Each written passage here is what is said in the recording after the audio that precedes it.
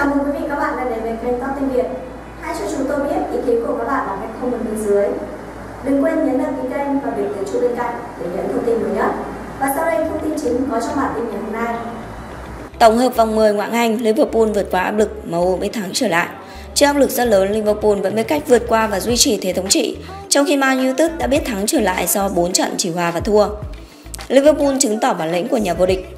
Ở vòng đấu trước, Liverpool đã bị ngách mạch toàn thắng từ đầu mùa sau trận hòa một đều với Man United và họ sớm phải chịu bàn thua trong trận tiếp đón Tottenham chỉ sau 45 giây bởi Harry Kane.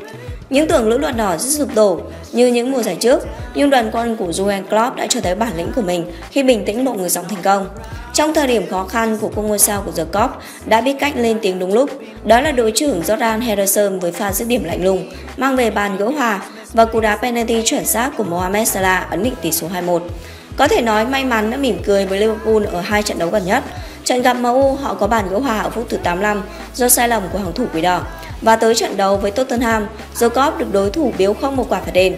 3 điểm trong trận đấu này giúp Liverpool vững vàng ở vị trí số 1 hơn Man City 6 điểm. Mai Tứt tìm lại niềm vui chiến thắng. Quỷ đỏ đang trải qua khởi đầu tệ hại tại Premier League 2019-2020. Sau 9 vòng đấu, họ mới chỉ có đúng 2 trận thắng để hòa 4 trận và thua tới 3. Sau trận thắng tương bừng 4-0 Chelsea ở ngoài giao quân, MU hòa 2 trận và thua 1 trước khi vượt qua Leicester với tỷ số tối thiểu 1-0 ở vòng 5. Sau đó họ hòa 2 và thua 2, rồi mới tìm lại niềm vui chiến thắng khi hạ gục Norwich 3-1. Hàng thủ của MU đang tỏ ra khá chắc chắn khi thủng lưới 9 bàn. Chỉ có 3 đội là Liverpool, Leicester và Sheffield United cùng 8 bàn thua là có thành tích tốt hơn họ. Tuy nhiên hàng công đang là vấn đề đau đầu với quỷ đỏ thành Manchester. Họ đã vươn lên vị trí thứ 7 trên bảng xếp hạng nhưng mới chỉ có 10 bàn thắng, chỉ hơn mỗi Sheffield United 9 bàn trong top 10. Trận thắng của Norwich cũng mới là lần thứ hai từ đầu mùa mà Âu ghi được hơn 2 bàn thắng. Man City và Chelsea giữ phong độ, Arsenal và Tottenham gây thất vọng. Man City vẫn đang kiên trì bám đuổi đội đầu bảng Liverpool bằng chiến thắng 3-0 trước Aston Villa. Đoàn quân của Pep Guardiola gặp rất nhiều khó khăn trong hiệp 1, nhưng đã biết cách giải quyết trận đấu nhờ sự tỏa sáng của các trụ cột như Ram Sterling hay Kevin De Bruyne. Trong khi đó, Chelsea tiếp tục cho thấy phong độ đỉnh cao với trận thắng thứ 7 liên tiếp trên mọi đấu trường và là thứ tư tại Premier League.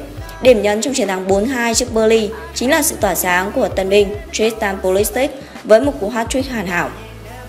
Trong khi bốn đội trong Big Six đều giành chiến thắng thì hai đội bóng thành London là Arsenal và Tottenham lại gặp thất vọng. Trong lần hiếm hoi dẫn trước đối thủ tới hai bàn tại Ngoại ngay mùa giải này, Arsenal lại không thể bảo toàn lợi thế và chỉ có được một trận hòa nghiệt ngã sau 90 phút.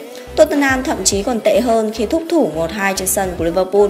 Dù là đội vươn lên dẫn trước từ rất sớm, gà trống đã tụt xuống vị trí thứ 11 trên bảng xếp hạng và huấn luyện viên Mauricio Pochettino đang đứng trước vô vàn áp lực. Leicester lập kỷ lục không tưởng Mùa giải này có thể là màn trở lại ấn tượng của các nhà vô địch Premier League 2015-2016. Họ đang chễm chệ ở vị trí thứ ba trên bảng xếp hạng và chỉ kém đội nhì bảng là Man City đúng 2 điểm. Thậm chí đoàn quân của Brendan Rodgers còn giành được nhiều hơn một điểm so với giai đoạn cùng kỳ của mùa bóng họ lên ngôi vô địch. Nhưng đáng chú ý hơn là bầy cáo vừa đi vào lịch sử khi tạo nên chiến thắng trên sân khách đậm nhất trong lịch sử 131 năm của các hạng đấu Anh. Chiến thắng 9-0 trước Southampton cũng cân bằng thành tích trận đấu, có cách biệt lớn nhất ngoại hạng khi MU đè bẹp Ipswich Town với cùng tỷ số vào năm 1995. Leicester cũng là đội thứ hai trong lịch sử giải đấu kết thúc hiệp 1 với 5 bàn dẫn trước trên sân khách. Thành tích này từng được Man City lập ra trước Burnley vào tháng 4 2010. MU sẵn sàng chiêu mộ sao trẻ của Dortmund.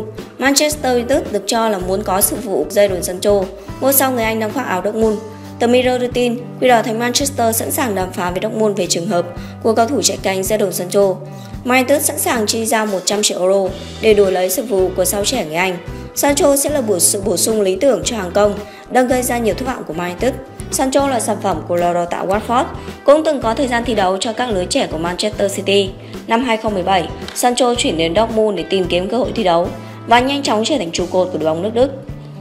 Mùa này ra đường Sancho đang có phong độ cao cho máu Dortmund. Anh ra sân 18 trận trên đấu trường, ghi 4 bàn thắng và có 7 pha kiến tạo. Tiền vệ 20 tuổi đang là cầu thủ được cả cho sân đón. Trước đó, Real Madrid cũng đánh tiếng muốn có được chữ ký của Sancho. Khi được hỏi về khả năng trở lại hay ra đi, tiền vệ của Dortmund khẳng định Tôi không quan tâm đến việc đó nhưng không thể nói trước điều gì trong tương lai. Trước Sancho, Manchester United đã có cơ hội sở hữu Gareth Bale từ Real Madrid theo bản hợp đồng cho mượn. Tuy nhiên, thương vụ này đổ bể do MU lo ngại tình hình chấn thương của Bale cũng như mức lương 500.000 bảng mỗi tuần mà ngôi sao người xứ Wales đang được nhận. Juventus tính biến Mbappe thành siêu hợp đồng 400 triệu euro.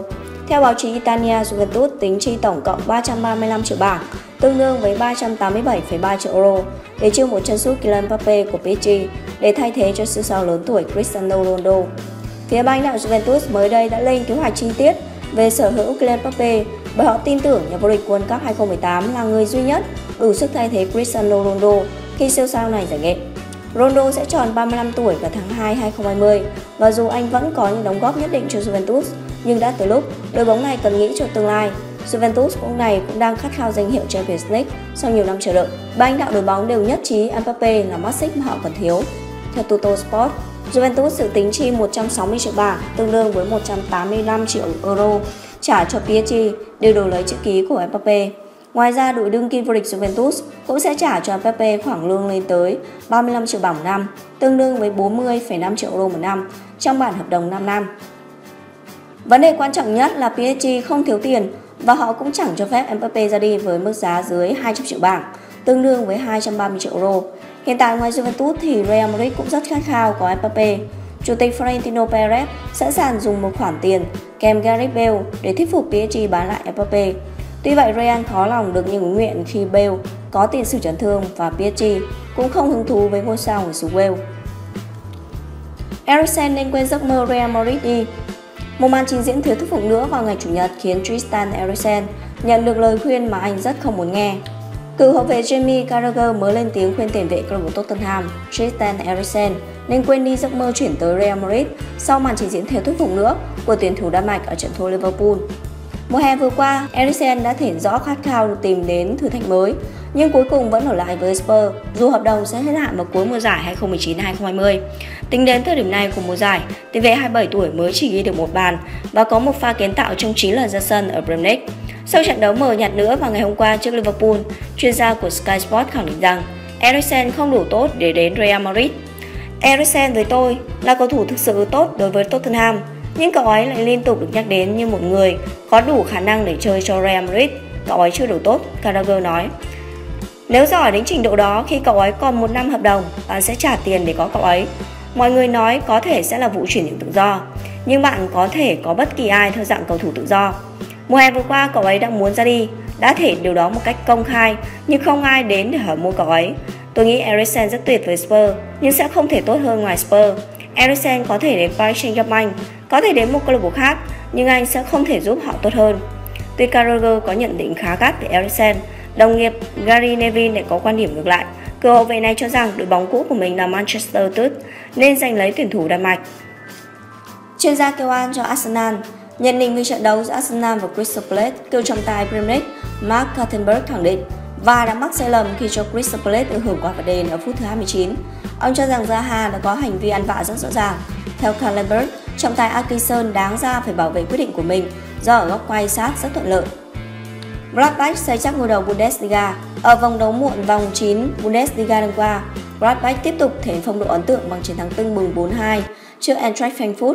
Với chiến thắng này, thầy trò Marco Rose đã bảo vệ vững chắc ngôi đầu Bundesliga. Họ hiện có 19 điểm, hơn một điểm so với nhà đương kim vô địch Bayern Munich.